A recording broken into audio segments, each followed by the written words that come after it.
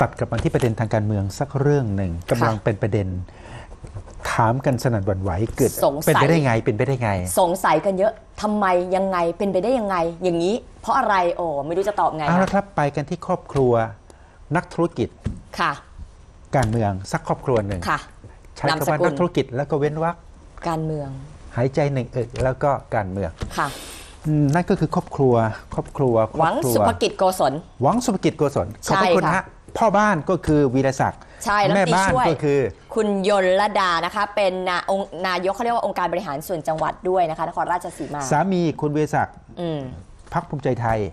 ตอนนี้เป็นรัฐมนตรีช่วยคมนาคมย้อนกลับแล้วไปนะเมื่อปี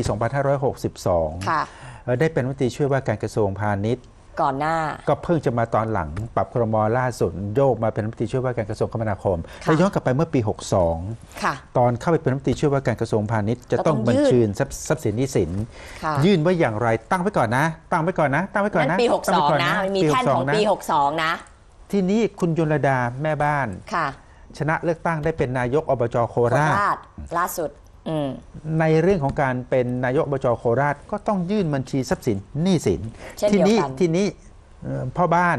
ยื่นบัญชีทรัพย์สินหนี้สินไม่ใช่เฉพาะของตัวเอง ต้องคู่สมรสด้วย คู่สมรสด้วย ขณะเดียวกันแม่บ้านในฐานะนายกอบจโคราช ยื่นบัญชีทรัพย์สินหนี้สินไม่ใช่เฉพาะของตัวเองก็ต้องรวมถึงพ่อบ้านด้วย ของท่านรัฐมนตรีด้วย ทีนี้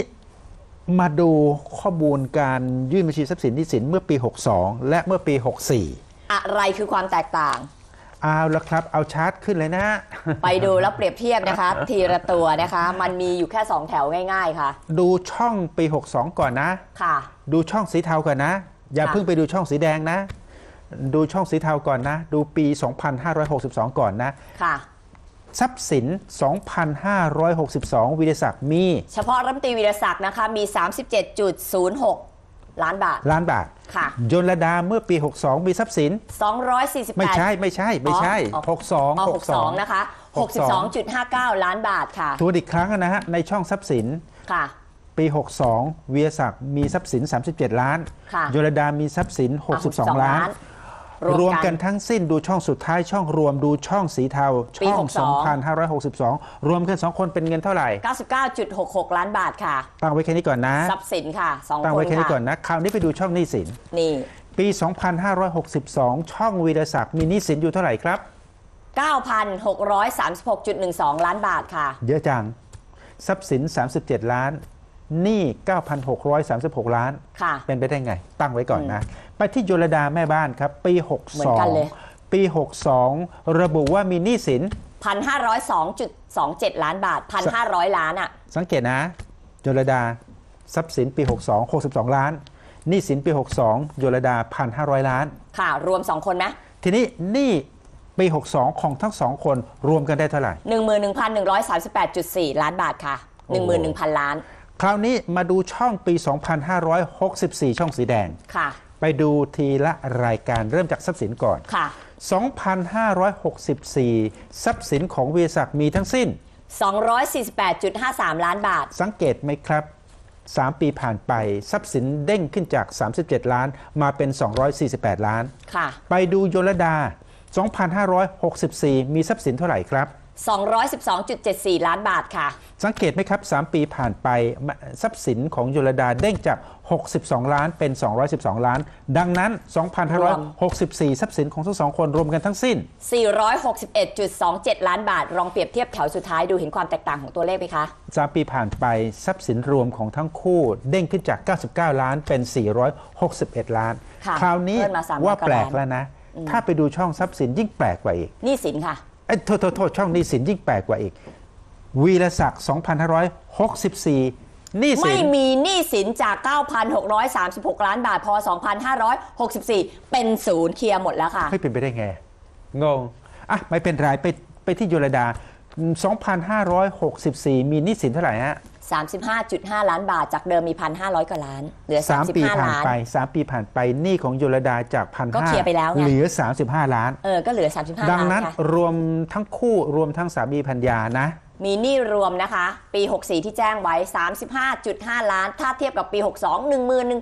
11,138.4 ล้านบาท3ปีผ่านไปหนี้มันหายไปตั้งหมื่นล้าน 11,100 กว่าล้านบาทที่หายไป ก็งงๆนะขณะเดียวกันทรัพย์สินมันเด้งขึ้นจาก 99 ล้านเป็น 461 ล้าน ค่ะ ก็งงๆอะไม่เป็นไร อืม ไปดูไส้ในกันนิดหนึ่งใช่ค่ะ เอาละครับเอาละครับ ไปดูไส้ในกันนิดหนึ่งคราวนี้ไปดูไส้ในของหนี้เมื่อปี 2562 ค่ะ สองคนรวมกัน11,138 138 ล้านล้านบาท ปรากฏว่าเกือบจะทั้งหมด 9,636 ล้านบาทเป็นหนี้ เป็นหนี้ที่เกิดจากการค้ำประกันวงเงินสินเชื่อหลายรายการ อาจจะเป็นไปได้เอ่อทั้งคู่เป็นครอบครัวนักธุรกิจมาก่อน ไปค้ำประกัน ทุกวันนี้ก็ยังทำธุรกิจอยู่ ใช่ค่ะ ก็เป็นเจ้าพ่อแป้งมันนะครับในค่ะประเทศไทยเอ่ออาจเป็นไปได้ว่าเงื่อนไขของแบงค์ผู้ให้สินเชื่อก็คือเอ่อเท่าแก่ และเท่าแก่เนี้ยต้องเซ็นคำส่วนตัว ใช่ค่ะ หรือเปล่าอืมกก็ก็คิดให้แล้วนะอืม คิดให้แล้วนะ เพราะเขาไปค้ำปแต่ระอย่ากังนไรวงก็เงิแล้วนสินแต่เชื่อไงเออเออเออออออก็เลยคิดมันเป็นหนี้ไงเออเออเออแต่ว่าแต่ว่า3ปีผ่านไปหายวับไปกับตาอาจจะก็เคลียร์ได้หมดทราบไงอืมจริงอะเป็นไปได้เหรอฮะอยากรู้ไหมต้องถามน้ำตีแหละไส้ในทรัพย์สินในปี 2564ค่ะที่บอกว่ามันเด้งขึ้นมาจาก 99 ล้านเมื่อปี 62 มันเด้งขึ้นมาเป็น 461 ล้านในปี 2564 ไส้ในมาได้นไง ไส้ในมันไส้ในของมันประกอบด้วยทรัพย์สินอะไร ปรากฏว่าเกือบจะทั้งหมด 400 กับ 1 ล้านบาท จากเป็น461 นะ 401 ล้านบาทก้อนเนี้ยมันฮะเป็นลูกหนี้ เป็นลูกหนี้เงินกู้ยืมกับลูกหนี้ค่าซื้อขายหุ้น 2 รายการด้วยกัน สองรายการด้วยกันมี 2 รายการไม่ด้วใช่ยสอกังนรายการสองรายเฉยๆสองรายอ๋อสองรายด้วยกันสองค่ะสราอยงรายเฉสองยเจ้าสองๆมีลูกหนี้รายอยู่สองราย ค่ะลูกหนี้สองรายเนี่ยเป็นลูกหนี้เงินกู้ยืมกับลูกหนี้ค่าซื้อขายหุ้น ค่ะ ลูกหนี้สองรายนี้รวมกันอ่ามียอดหนี้คงค้างกับสองคนผัวเมียคู่นี้ 400 กับ 1 ล้านบาท ค่ะแต่คราวนี้การไปเป็นเจ้าหนี้ของใครเขานับเป็นทรัพย์สิน ค่ะ ถ้าคุณเป็นเจ้าหนี้เขา ไอ้หนี้ที่คุณเป็นเจ้าหนี้เขาเนี่ยเขานับเป็นทรันับพย์เป็นสินทรัพย์ด้วสิยนของคุณเอ่อแต่สิ่งที่สนุกก็คือ ลูกหนี้สองรายเนี่ยประกอบด้วยใครค่ะ คนที่หนึ่งประกอบด้วยใครนะค่ะประกอบด้วยใครนะแต่ดูชื่อแล้วก็จี๊ดเลย ถ้าใครดูคะชื่อแล้วจะจี๊ดเลยอืมคนที่หนึ่งก็คือนางสาวสุดาวันหวังสุภกิจโกศลอืมคนที่สองก็คือนางสาววีริยาหวังสุภกิจโกศลทั้งเป็นใครคู่คะเป็นลูกสาวของ วิรศักดิ์และยนรดา ค่ะ งงงงเขาทำธุรกิจไง งงผมไม่ทราบว่าคุณวิรศักดิ์คุณจุลดานี่ใช้ใครเป็นที่ปรึกษาในเรื่องของการเอ่อจัดทำบัญชีทรัพย์สินหนี้สิน ไม่ทราบว่าใช้ใครเป็นที่ปรึกษาในการบริหารความมั่งคั่ง ไม่ทราบว่าใช้ใครเป็นที่ปรึกษาในการเอิ่มบริหารจัดการเรื่องทำนองนี้ให้มันถูกต้องตามกฎหมาย อยากรู้ไหม ถ้าอยากรู้ก็ต้องไปถามท่านรัฐมนตรีวิรศักดิ์หรือไม่เดี๋ยวก็เดี๋ยวท่านนายกเดี๋ยวเยอรดาไงเดี๋ยวพรุ่งนี้พรุ่งนี้พรุ่งนี้พยายามจะติดตาม ใช่จะได้มาอธิบายแล้วกันเพราะเราเชื่อว่าพอมันขึ้นกันแบบนี้นะคะ จริงๆคนเข้าไปดูโอเคในเนี่ยมันก็เห็นโอเคแล้วก็สงสัยกันเยอะ มันก็แปลกนะ ใช่หนี่หายสุดยอด